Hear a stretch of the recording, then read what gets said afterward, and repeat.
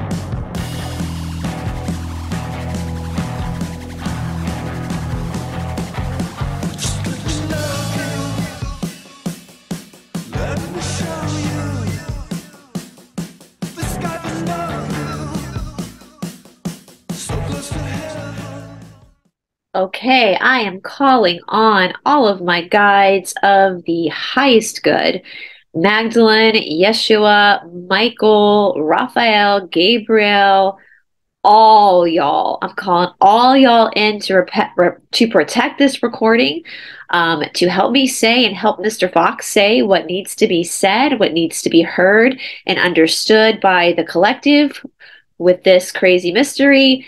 And I am asking that any beings that are here for nefarious purposes that wish to infiltrate my channel, infiltrate my message, I do not consent. And I revoke any permission that you think you have to use my wounds as entry points. And I ask that all those nefarious beings be escorted out at this moment. And so be it. All right, you guys, today we are actually going to be talking about the disappearance of Malaysia Flight 370.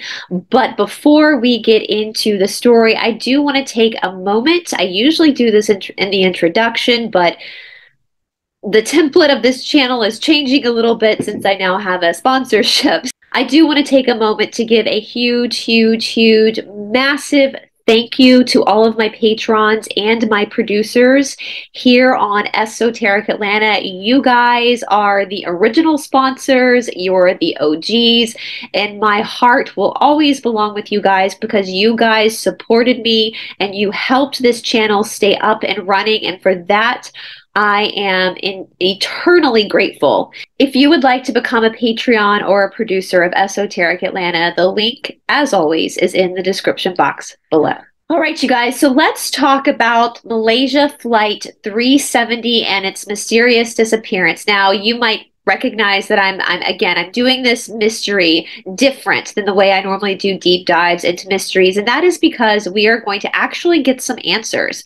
We are going to get some answers from the Cassiopeians through Mr. Fox. But before we bring Mr. Fox in on the screen, I am going to give you a little bit of background information so that we know where we're coming from. We know what the narrative is, we know what happened, all that we really know what happened, and then of course what the the overlords, the controllers want us to believe happened, which will then come into play with what, with what Mr. Fox has to share with us from the Cassiopeians, if that makes sense. Malaysia Flight 370 was an international flight that was flying from Kuala Lumpur International Airport to Beijing Capital International Airport on the 8th of March 2014. Now, I do remember when this plane disappeared, um, but 2014 for me was a really big year. I had a lot going on in my life at this time.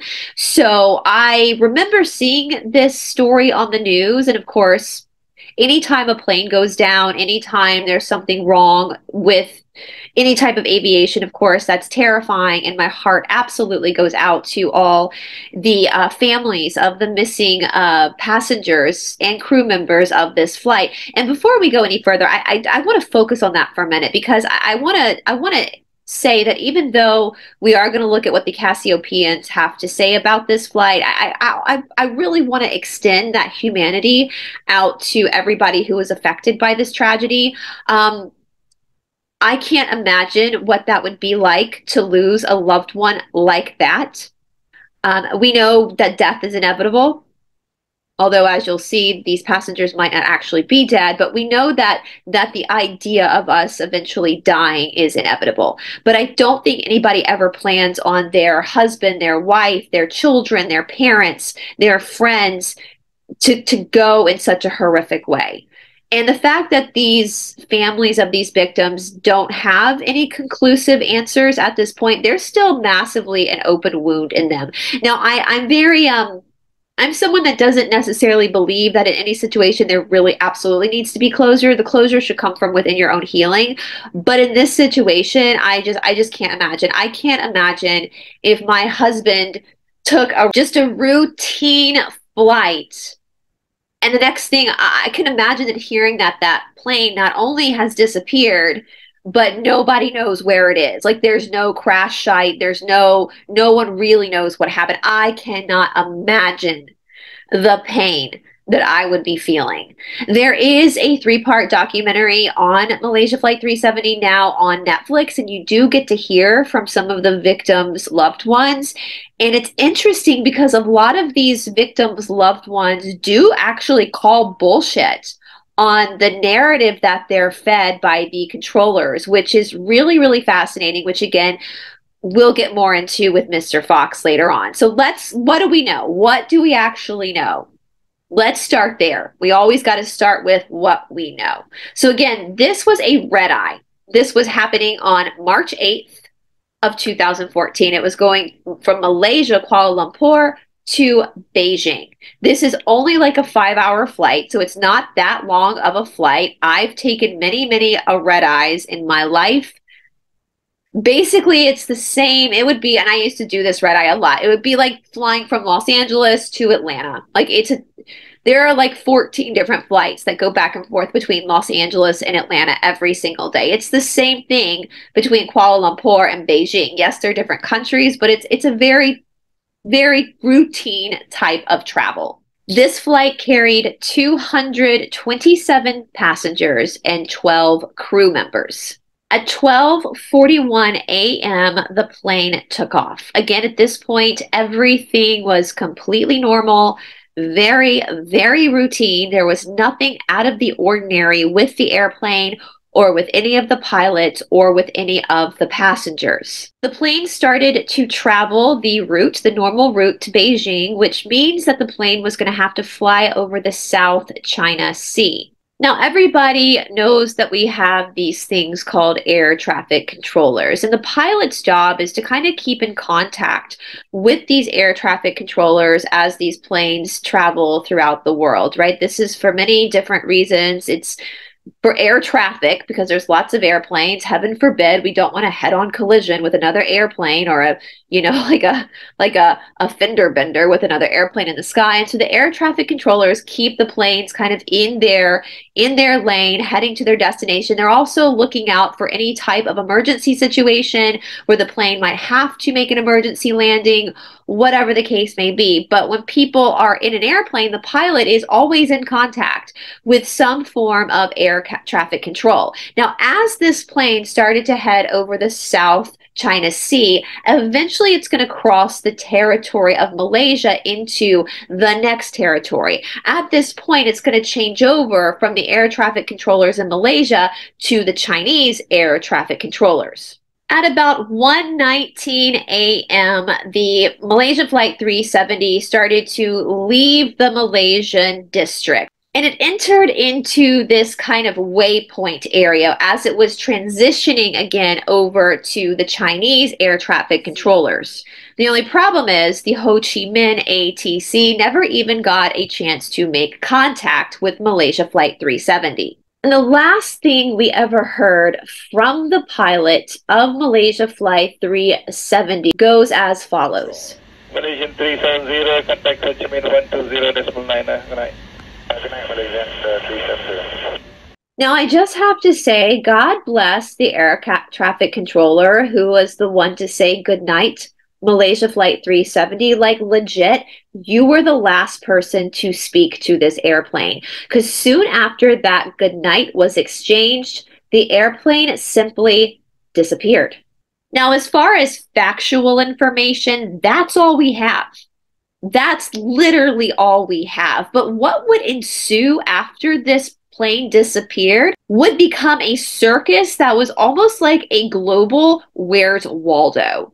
Now, of course, again, the Malaysia officials who were in charge of this airplane, this air vehicle, were panicked. I can't, I mean, to give them the benefit of the doubt, I, I cannot imagine how they were feeling when one of their planes literally just vanished. Like there is no no sign of it crashing anywhere. It just completely poof, it was gone and then to also be the family of the victims to get to Beijing, because from what I understand, there was a moment in time where the air traffic controllers and Malaysian Airlines thought for maybe a second it was like their system that was glitching, and maybe the flight was perfectly fine and they were panicked for nothing.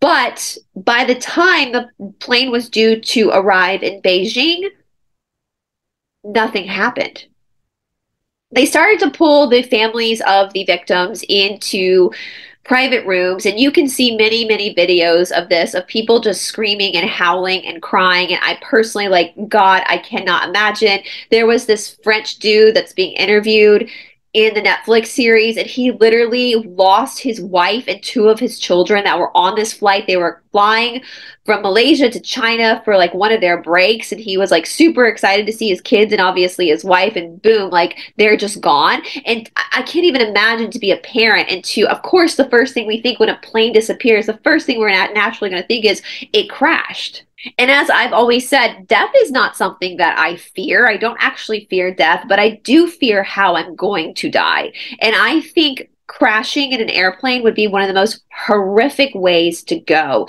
And to believe that your children went through this fear, I can't imagine. Like, I just simply cannot imagine. Well, as time went on, there were literally no traces, no evidence of any type of debris for a little while. They could find nothing. And of course, people wanted answers. Where the hell did this plane go? And so the powers that be decided that the perfect scapegoat for this disappearance was the pilot. Now, according to the Cassiopeians, which we will talk about in a moment, this is not what happened to Malaysia Flight 370. So I want to make that very, very clear. And we're going to talk about why the controllers came up with this story with Mr. Fox. But I do feel like it's important to share this. This is a legitimate conspiracy theory. It's not, it's junk conspiracy. This is not what happened. But we're I'm going to go ahead and tell you anyway, because this is the narrative. This is what they try to sell the people. Now, of course, if you watch the documentary series, most of the victims' family are like bullshit, bullshit, bullshit. And even when one of the people started to find debris from the plane, people were finding it very suspicious, and we'll, we will get into it. So the story came, became that the pilot was basically on a suicide mission. And that once he left the air traffic boundary of Malaysia in that waypoint heading into Ho Chi Minh air traffic control, he decided at that point, since he was not being monitored for this like couple of minutes, that he would pull the plane and go the exact opposite direction towards the Indian Ocean.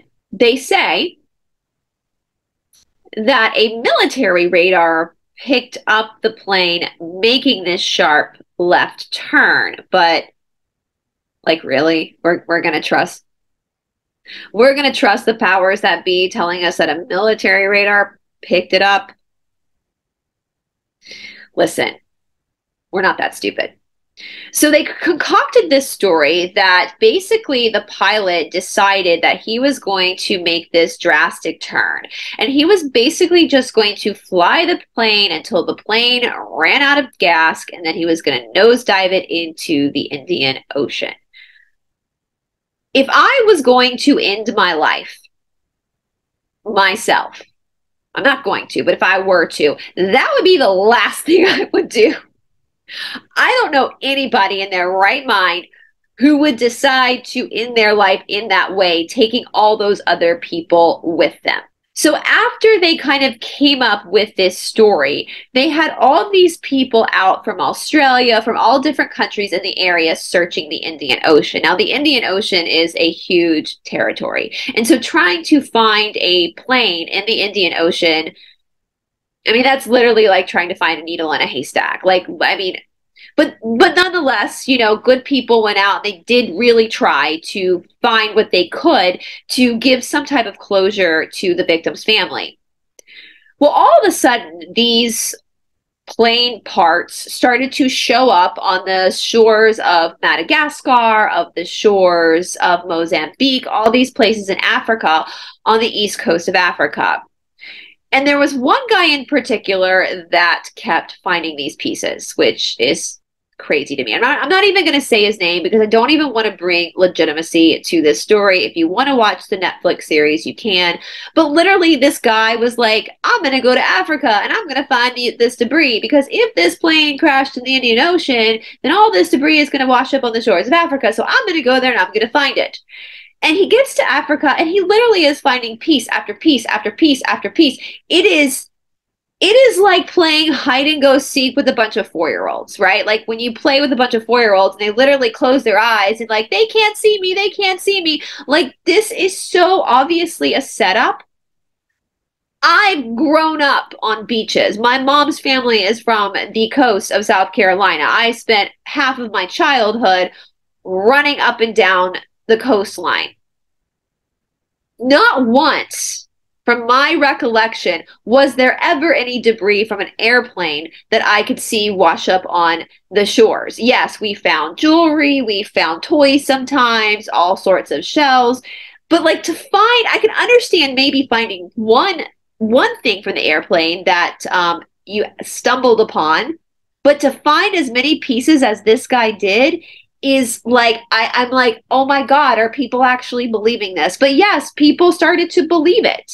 I mean, I know we're a gangster planet. I know we're like one of the most hardest planets to live on, but are we also one of the most stupidest planets to live on? Because you don't have to be a rocket science to understand that this was completely far fetched. And not only that, but a lot again, a lot of the victims' families were like, "This is not. You can't prove to me that this is debris from Malaysia Flight 370." And the big kicker was that the little black box that all airplanes have, it has still yet to be found. If we could find the black box from Malaysia Flight 370, then we will have our answers.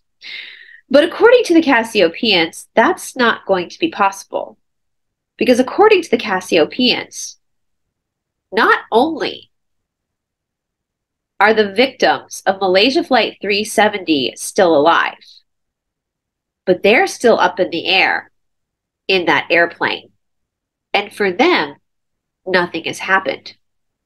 For them, no time at all has passed.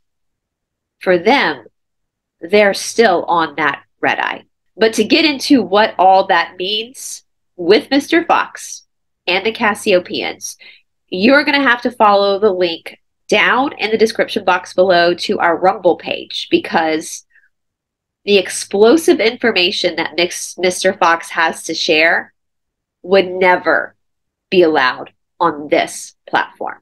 So, with that being said, I'll see you over on Rumble. Malaysian 370, contact Ho Chi Minh 120.9. Good night. Good night, Malaysian uh, 370.